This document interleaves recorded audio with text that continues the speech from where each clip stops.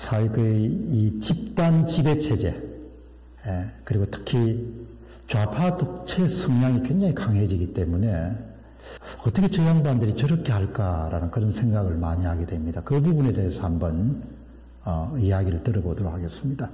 좌파 독재. 네. 그거 나는 내 생전에 그런 게 있으리라고 꿈에도 생각 안 했는데 왜 그 시절이 끝났기 때문에. 근데 실질적으로 지금 이제 좌파 장기 집권을 향한 모든 제도적 창치 같은 경우를 이제 거의 완비한 거지 않습니까? 네. 공수처를 네. 통해 네, 가지고. 네, 예. 네, 네. 그렇다고. 어떻습니까? 이렇게 집단 쪽제 이런 부분에 대해서 이제 싸우시는 그런 중요한 그런 진단이나 이런 부분 한번 이야기를 해주시죠. 네. 어, 사람들이 이제 그 사실은 뭐 공산주의 국가들 다 몰락 안 했냐? 음. 응? 그럼요. 뭐 소련도 그렇고 뭐 중국도 다 개방된 거 아니냐? 음. 그죠? 뭐 우리도 사실 거기 사업 투자도 하고 하니까. 그래서 공산당이 그냥 일당 지배를 하긴 하지만 뭐 그렇게까지 뭐 어? 그런 시대는 끝난 거 아니냐? 전 세계가 이렇게 이제 우리나라 사람들이 생각하지. 착각을 하죠. 네, 착각을 하죠. 그리고 어, 지금 뭔가 이상하다라고 하지만 설마 아, 대학 다닐 때 젊었을 때 그 운동권 좀 할 수도 있지 사회주의에 좀 빠질 수도 있지. 이렇게 생각하지. 지금도 설마 그렇게 했어? 이렇게 생각하지 않습니까? 근데 저는 지금도 설마 그렇게 했어. 네, 그렇게 생각들 많이 하죠 국민들이. 근데 저는 아 아니다. 이거 조직적이다. 체계적이고, 네 체계적이고 대단히 전략적이고, 어, 무섭다. 대단히 의도적이고. 네, 그렇게 생각하죠. 이게 왜 그러냐면 그냥 한두 명의 문제가 아닌 것 같다. 그리고 이제 그 주류 세력이 정권의 실세가 됐다. 됐지. 예. 문재인 대통령이 대- 그분 자체도 아까 제가 말씀드린 것처럼 그분 자체도 역사관이 좀 이상합니다. 대한민국에 대한 국가관 이런 것도.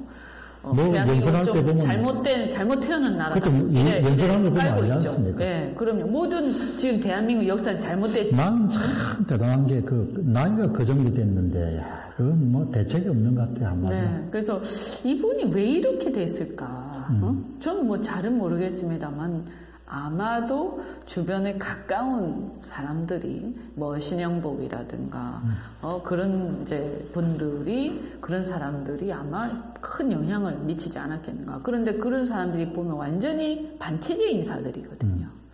그리고 이 그러, 그리고 나서 이제 이런 어, 이분이 대통령이 되고 나서 인사를 하는 걸 딱 보니까 사실 어, 소위 말해서 저는 그 대통령이 지금도 보면 이낙연이라든지 이런 사람들 다 연막 작전이고 연막 작전. 예, 실제로 여기 이 문재인 정권의 핵심은 우리가 이번에 이제 여러 가지 비리 터지면서 우리가 알게 됐죠. 사실 핵심은 백원우라든가, 그죠? 어, 그 다음에 임종석이라든가, 이런 사람들 아닙니까? 지금 딱 보면. 어, 심지어는 조국 같은 사람조차도 약간은 뭐, 두 번째 세컨티어 비슷한, 그죠? 약, 약간 이제 얼굴마다 얼굴마다 비슷한, 어, 그런 거 아닙니까? 야, 이거 진짜 큰일 났다. 그런데 이런 사람들이 지금 청와대 안에 깊숙이 엄청나게 많이 행정관부터 해서 비서관 엄청나게 많이 있는 거 아닙니까?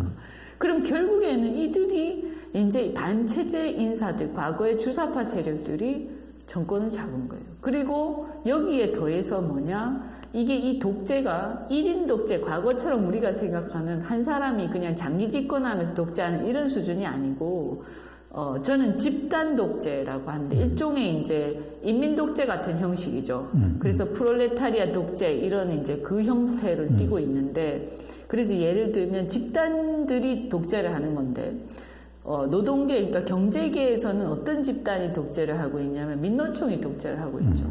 그래서 민노총이 경제에서 임금은 이렇게 가야 돼, 노동시간 이렇게 해야 돼, 그리고 기업들은 이렇게 해야 돼, 그리고 이 어떤 주식은 이렇게, 어, 주식 시장에서 어, 연금이라든지 이런 걸 통해서 어? 이렇게 우리가 기업은 이렇게 움직여야 돼 하는 또 그 소위 말해 참여연대 세력들 이런 세력들이 주축이 되어서 그 다음 또 교육계에서는 전교조 세력들과 그들이 얘기하는 주장들 그래서 예를 들어서 학교에서도 전교조가 다수가 아니란 말입니다. 다수가 아니잖아요, 학교에서. 그런데도 전교조 세력들이 어떤 어, 교육에 대한 규정을 만들어서 이걸 자기들이 집권한 그러니까 교육감, 음? 자기들이 당선시킨 교육감한테 그것은 들이밀면 그 진보 교육감들도 이제 전교조 출신들이죠. 그러면 그들하고 정교조하고 협약을 맺으면서 음. 교육 현장에서 반드시 이 내용을 교육하도록 협약을 맺죠. 음. 그러면 교육청은 어떻게 하냐면 교육감 지시에 의해서 학교 현장에 그 내용을 다 하다를 합니다. 그래서 학교는 다 이것을 따라라. 그것을 따르지 않을 때는 왜 안 따르는지 이유를 해명을 하고 그것을 우리가 채점을 말하자면 평가를 하겠다. 뭐 이런 걸 심지어 일선 학교에다가. 네. 그래서 이제 수적으로는 소수지만 친구한 다수들을 지배하는, 지배하는 거죠. 거죠. 그래서 소수 세력에 의한 다수의 지배가 다수의 지배가 이루어지는 이루어, 거죠. 대부분 사람들은 이제 물리적인 폭력이라든지 네. 그다음에 금전적인 그런 불이익 같은 걸 두려워해 가지고 대부분 음. 침묵을 당하는 그럼요. 거죠. 왜냐하면 거기서 평가를 했는데 평가가 나빠요. 그럼 그 다음에 그 선생님은 그 다음 어떻게 되겠어요? 그러면 그게 이제 교육, 교육계라는 것이 또 작은 부분이니까 나라 전체를 보면은 소수와 언제든지 다수를 억압하거나 지배할 수 있는 그런 독재 체제가 만들어질 그렇죠. 그게 지금 그 사람들이 하고 그렇습니다. 있는 거죠. 그래서 교육계의 그러한 정교조 세력에 의한 집단 독재가 이루어지고 있고 저는 그것이 바로 우리가 그렇게 우리가 사실은 우리한테 안 일어나고 있다고 착각을 하지만 이미 우리 현장에서는 하나의 일련의 어떤 인민 독재가 이미 일어나고 있다는 겁니다. 그런 게 바로 인민 독재의 바로 한 형태거든요. 그리고 예를 들어서 전교 저기 그 민주노총 같은 경우가 어떤 식으로 경제 현장에서 독재를 하냐? 예컨대 건설 현장만 보더라도 자신들이 이제 우리가 인부를 갖다가 이렇게 모집을 하지 않습니까? 기업에서, 현장에서, 현장 소장들이 모집을 하고 하는데, 그런데 이제 민노총에서 요구를 하죠. 우리 사람을 갖다 민노총 조합원을 반 정도 써라, 현장에서. 그러면 이제 안 쓴다. 이러면 막 무슨 괴롭히고 뭐 사진 찍고 막 고발하고 이래가지고 시달리니까 알았다 쓸게 음. 이렇게 되거든요. 그래서 이제 그러면 자기들 세력들을 이제 쓰고 그러면 이 사람들이 자기 그러면 그 전그 그 민노총 조합원이어야 먼저 직장을 그 일거리를 얻으니까 싫든 좋든 간에 그 사람들이 무슨 민노총 규약이나 이런 정치적 강령에 동의를 해서가 아니라 자기의 이익 때문에 노동자들이 전부 다 민노총 조합원이 되는 거예요. 음. 그렇게 해서 쫙 조합원들을 만든 다음에 그럼 그 조합원들이 조합비를 또 내지 않습니까? 그럼 이 돈이 얼마나 많습니까? 엄청나지. 네. 거기다가 또 그 조합원들 또 기업에서 또 뜯어내잖아요. 네.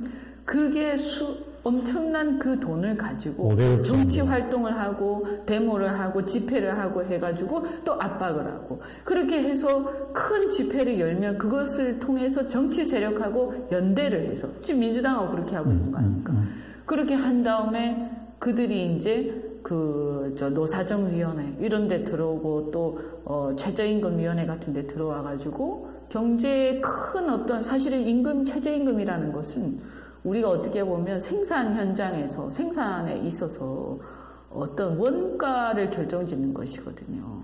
굉장히 중요한 거 아닙니까? 그 임금이라는 최저임금을. 근데 그거를 그렇게 해서 민노총이 사실상 결정하는 거예요. 그게 정치 원리에 따라서 자신들이 받고 싶은 만큼 결정해 버리는 거죠. 네. 그러니까 뭐그 그 소수 세력이 지배하는 거죠. 그래서 완전히 그냥 경제가 거들이 나버린 거죠. 네. 그래서 민노총이 경제 현장을 사실상 지배하는 자영업자, 기업인, 또 심지어 같은 노동자마저도 거기 다 놀아나고 있는. 그러니까 이게 뭡니까? 이게 프롤레타리아 독재죠. 그렇죠. 네. 그래서 우리는 이미 그게 만연해 있고 거기 지배당하고 있다. 우리는 사실은 그 최저임금 때문에 우리가 다 망해가고 그 52시간 때문에 나는 더 일하고 싶어라고 말하, 말하고 싶어도 네가 뭔데 52시간보다 더 일하려고 하는 거야. 이런 거 아닙니까? 그러니까 내가, 내가 집사람도 가끔 농담하지. 여기까지는 내보고 주 52시간 안, 안 지킨다고 이렇게 집에 찾아와 음. 행패 안 부리고 얼마나 다행이냐고 이런 이야기를 가끔 할 네, 정도니까 하, 참 말이 안 되잖아요. 네. 그럼 집에 당하고 있는 거예요. 일을 더 하고 싶은데 저거가 일하는 시간을 정해가지고 일을 더 못하게 하니까 그렇죠. 그 독재죠.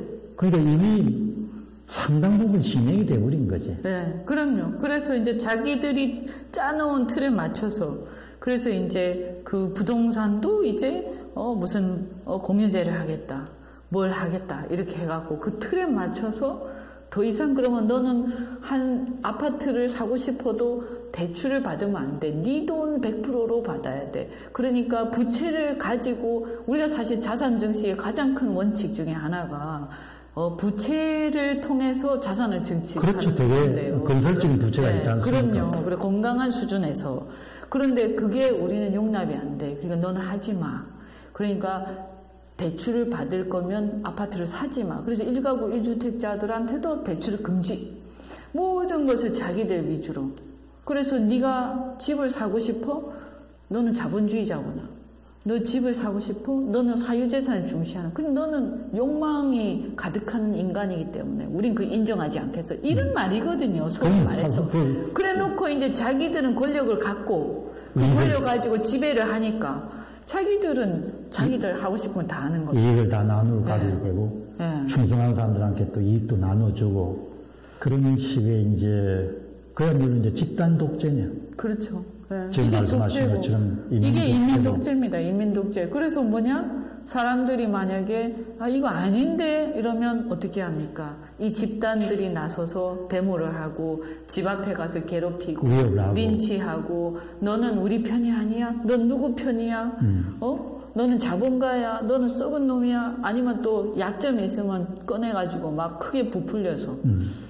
이렇게 하니까 이게 지금 이, 게 바로 어 저는 어, 이 프롤레타리아 독재고 인민 독재다. 어? 그래서 어떤 집단 소수의 집단이 다수의 국민들을 지배하고 올가매고 있는 그 현상이 이미 우리한테 만연해 있습니다. 우리 주변에서 계속 일어나고 있어. 그래서 국민들은 야 이게 너무 불편하고 뭔가 내가 억압당하고 있는데 이 실체가 뭐냐 이러는데 아 정신 차리세요 이러면서 제가 얘기를 하는 거죠. 정말 오늘 방송을 많이 들으시고 정신 차려야 되는 분들이 많이 좀 나온, 나와야겠네요. 네. 그게 뭐 세상 살이의 이치라는 것이 모르면 당하지 않습니까? 그러니까 이제 사실은 그래서 각성이 필요합니다.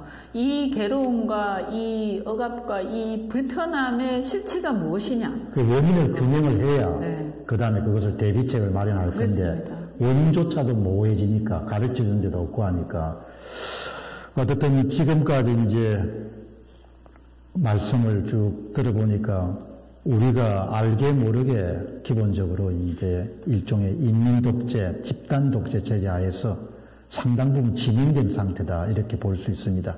아마 이 궁극적인 귀결점이라는 것은 경제 위기와 같은 식으로 아마 귀결이 되지 않겠냐 그렇게 생각합니다.